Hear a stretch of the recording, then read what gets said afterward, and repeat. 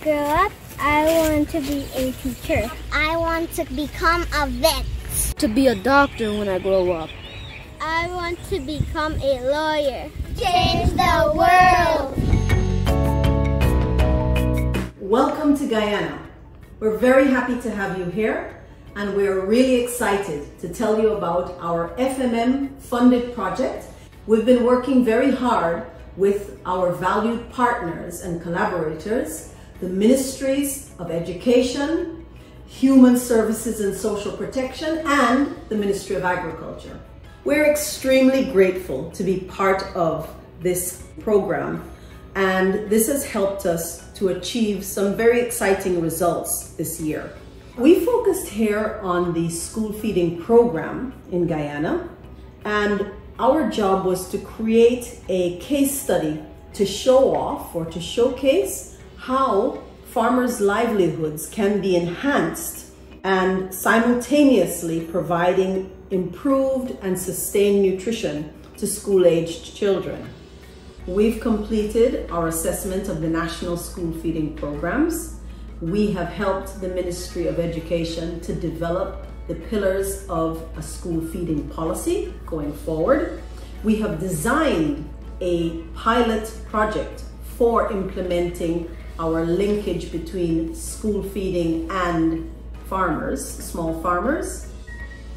We have assessed over 300 small farmers to help them to become ready to participate in the school feeding program.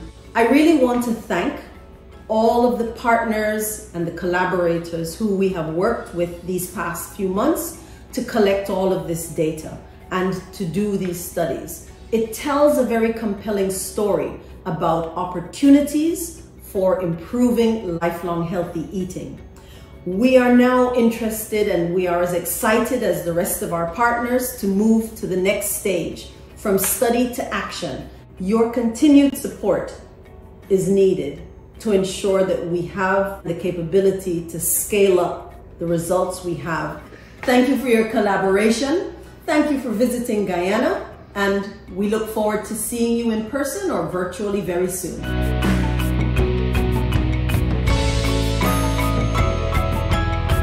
Hello from beautiful Guyana everyone. My name is Chandel Rodriguez, an intern attached to the FAO Guyana office. Today, I am happy to tell you all about the school feeding sub-program implementation in Guyana.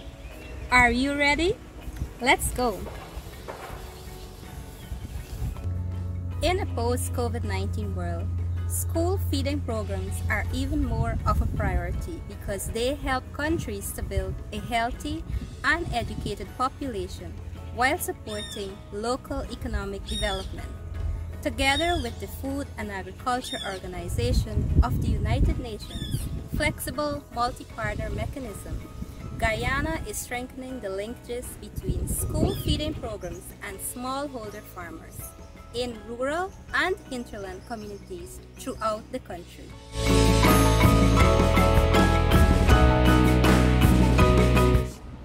As part of our efforts to provide safe and nutritious food for all, Guyana has adopted measures to consolidate its national school feeding program. We are strengthening the linkages and synergies between consumers and food producers so as to deliver safe, healthy, and nutritious school meals. This will also help provide small farmers with a guaranteed market for a portion of their produce. Today, we are journeying to Barima Region 1, the most northwestern hinterland region of Guyana. We are here today with the head teacher of the Santa Rosa Primary School located in Moruca Subdistrict.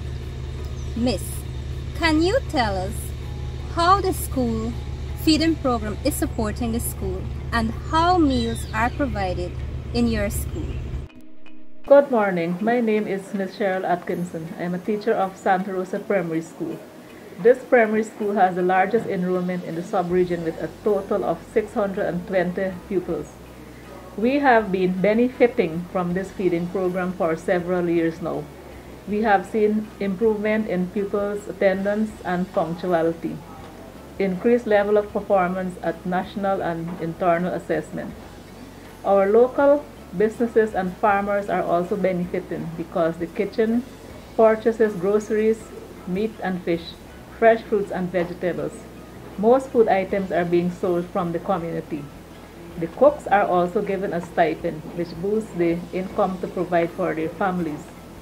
Parents are also saving since they don't have to buy lunch for their children like before. The quality of the food is wholesome and nourishing. The pupils are provided with a balanced diet. I can safely say the feeding program is a beneficial venture which goes a long way, and I am very grateful to the Ministry of Education for that. Thank you. Now we turn our attention to pupils of the Santa Rosa Primary School. Listen to their story. Hello, my name is Kleiner Jepes. I attend the Santa Rosa Primary School in Region 1. Many schools across the country have been benefiting from the Ministry of Education school feeding program. My school is one of them. Since this program started, it is really beneficial to us. Nutritional food are offered, we eat in comfort, and so many more benefits. We appreciate it very much. Thank you. My name is Justin Lewis. I reside at Kamakamurko, which is located in region number one. I attend the Santa Rosa Primary School. From home, I normally walk about two and a half miles to get to school with my cousin nearly every day. Sometimes we are picked up by the bus and are dropped off safely to school. Our school's feeding program provides a delicious meal for all school children every day. They give us fruit juice daily with a variety of nutritious foods, making it a balanced diet. Since I'm in grade 6 preparing for my national grade 6 exam, I need a lot of energy and nutrients to keep me working hard. Our school's feeding program fills this need perfectly. Therefore, I wish to thank the school's feeding program for their service because we all benefit. I wish this service would continue for us and the many pupils of the future. Thank you. There are countless other stories of the benefits and successes of the school feeding program in Guyana. And so, even at the highest level, there is a national drive to ensure school meals continue and, more importantly, are linked with farmers. My name is Christina James and I am the chairperson for the Flame Women's Group. We are situated in Mabaruma, Region 1, Guyana, and we are agro-processor processing groups. So we produce cassava, cocoa, coffee, cashew, and we also have a shade house that we produce seasoning and some vegetables. We have been supplying the schools with our locally made cassava bread and our cashew, our um, seasoning, and they were able to purchase some vegetables as well from us. And that's been a great help to the group um, towards marketing our product. Um, the school feeding program has benefited uh, me as well as my grandchildren, also members of the community, and some of the women from the group who are farmers, they were able to benefit from the feeding program as well.